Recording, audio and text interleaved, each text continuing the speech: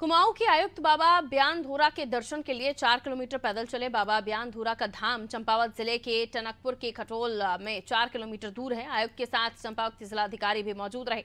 मुख्यमंत्री पुष्कर सिंह धामी ने 14 जनवरी से 22 जनवरी को श्री राम मूर्ति प्राण प्रतिष्ठा कार्यक्रम तक प्रदेश में दिवाली की भांति ही विशेष कार्यक्रम आयोजित करने के निर्देश दिए हैं और इसी क्रम में प्रदेश के सभी शीर्ष अधिकारी धार्मिक स्थलों का जायजा लेकर व्यवस्थाओं को देख रहे हैं और जन समस्याओं का समाधान भी किया जा रहा है। बयानधुरा महाराज के आज दर्शन किए। डीएम साहब भी साथ में हैं फॉरेस्ट डिपार्टमेंट में हैं और श्रद्धालुगढ़ भी यहाँ पे हैं। कुछ कुछ डिमांड्स यहाँ पे श्रद्धालुगढ़ों की ओर से आई है। एक तो ये कि यहाँ पे स्थायी व्यवस्था हो पानी की आ, पानी ऊपर तक पहुँचे। साथ ही साथ ये जो रास्ता है जहाँ पे बयानधुरा का मंदिर है और माता जी के मंदिर के बीच में इसकी मरम्मत की भी यहाँ पर डिमांड की गई है जो कि सही डिमांड है। इसको होना चाहिए।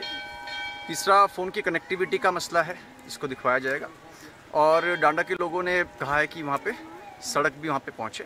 बीच में जो कठौल में जो एक तोक है वहाँ पे सड़क की डिमांड भी थी और एक पैदल पुल की भी वहाँ पे डिमांड है जो मेरे हिसाब से सही डिमांड है। और माननीय मुख्यमंत्री जी के भी निर्देश थे कि एक बार यहाँ पे दौरा करके आएँ।